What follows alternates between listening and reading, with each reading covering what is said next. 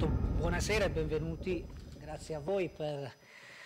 aver scelto la, la sede della Federazione Nazionale della Stampa Italiana, la casa di tutti i giornalisti,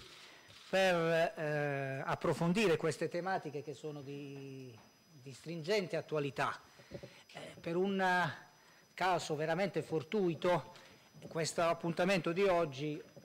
quasi la prosecuzione dell'appuntamento che, che si è svolto appena dieci giorni fa e che abbiamo promosso noi in questo caso, è dedicato alla libertà di informazione e alla pari dignità sociale dei cittadini, articolo 21 e l'articolo 3 della Costituzione. In quell'occasione abbiamo avuto qui il Presidente emerito della Corte Costituzionale, il Professor Giovanni Maria Flick.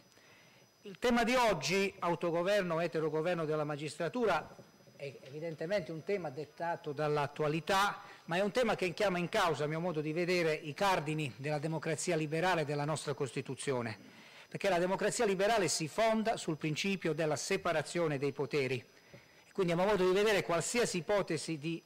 di eterodirezione, per quanto possa essere acceso il dibattito, andrebbe a minare il fondamento stesso della nostra Carta Costituzionale. Io ritengo, lo stiamo sono tematiche che stiamo approfondendo da tempo, che in questo Paese ci sia, sia già in atto il tentativo di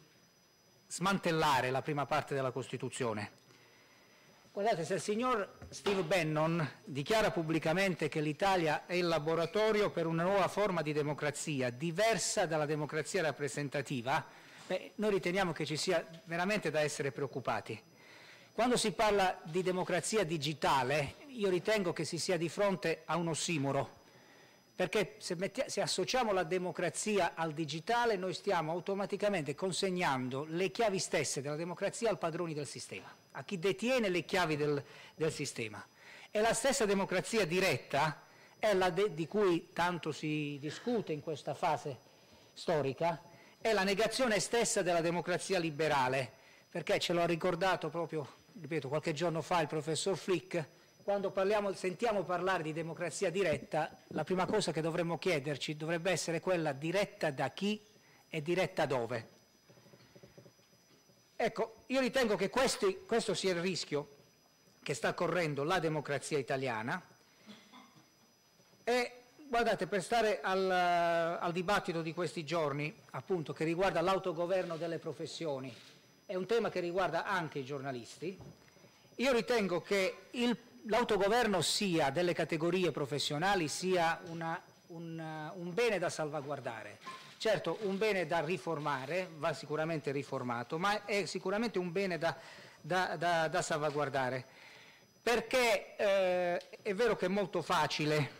che, eh, fare di tutta l'erba un fascio, ma l'autogoverno professio, delle professioni deve servire, a mio modo di vedere, a dare garanzia all'opinione pubblica, garanzia ai cittadini. La garanzia deve essere quella che in tutti i consessi umani c'è chi sbaglia, in tutti i consessi umani ci, ci, può essere chi viola delle regole la garanzia deve essere che chi viola le regole viene sanzionato e, quest, e questa sanzione diventa pubblica. L'opinione pubblica deve potersi fidare delle, delle, categorie, delle categorie, professionali, delle istituzioni delle categorie, delle categorie professionali. Quindi far funzionare gli organi di autogoverno significa restituire credibilità alle professioni, restituire credibilità alle categorie professionali e eh, come dire, respingere anche il, tenta il, tentativo invece di chi sta cercando, ripeto, sfruttando anche quelli che sono eh, fatti di cronaca, di eh, mettere le mani nel governo delle professioni per ridurre le professioni al silenzio o comunque eh, renderle, meno, renderle, meno, renderle, meno, autonome. Per, vale per la giustizia ma vale anche per l'informazione. Noi da tempo in Italia, e negli ultimi mesi c'è stata un'escalation in questo senso, assistiamo all'attacco frontale all'articolo 21 della Costituzione che non è soltanto il diritto di informare, ma anche è il diritto dei cittadini ad essere correttamente eh, informati. È un attacco che ha preso corpo negli ultimi mesi anche con provvedimenti che vanno nella direzione di moltiplicare i tagli all'informazione, siamo, siamo stati anche qui protagonisti insieme di un'iniziativa in favore di Radio Radicale, siamo riusciti a scongiurare per il momento quel rischio, ma anche di tanti bavagli di tanti bavagli all'informazione. Voglio semplicemente qui ricordare l'assenza nel nostro ordinamento di una norma che vada a sanzionare chi utilizza le, eh, le azioni temerarie contro i giornalisti e contro la stampa a, a mero scopo intimidatorio. Noi ci stiamo battendo da anni per ottenere una norma che sanzioni non soltanto col pagamento delle spese legali, ma anche con una sanzione pecuniaria certa, determinabile, proporzionale all'entità del risarcimento richiesto, chi fa un uso temerario della giustizia al solo scopo di intimidire il giornalista, intimidire, intimidire chi fa correttamente informazione o chi fa, o chi fa inchieste. E l'altro tema è quello, se ne è parlato negli ultimi, negli ultimi giorni, che riguarda appunto la, la riforma delle intercettazioni.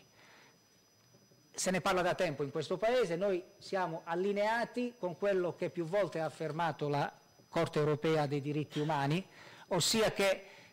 è diritto dei giornalisti pubblicare tutto quello che ha rilevanza pubblica, ha rilevanza per l'opinione pubblica e quindi come dire, non, può in, in alcun modo essere previsto, non possono essere in alcun modo previste forme di bavaglio alla, alla stampa, per cui non ci vedranno mai favorevoli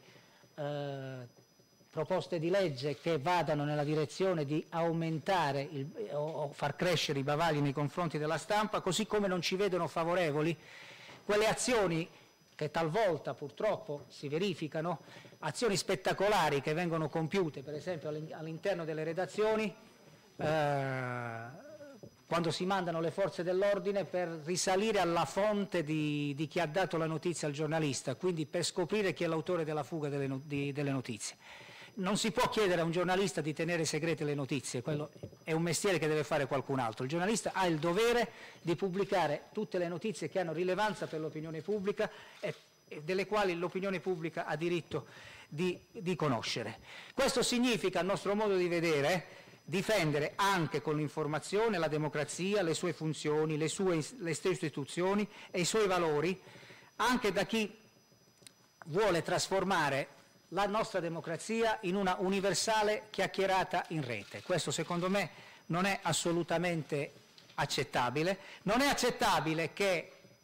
eh, l'opinione pubblica disinformata, perché appunto l'attacco all'informazione venga lasciata in balia di chi gestisce piattaforme digitali al solo scopo di manipolare l'opinione pubblica e quindi manipolare non soltanto le informazioni e manipolare proprio il consenso stesso dell'opinione pubblica. Ecco, noi riteniamo che questo sia un tentativo da respingere e che, questo, che questa reazione vada messa in campo da tutti coloro che hanno a cuore la Carta Costituzionale. Grazie.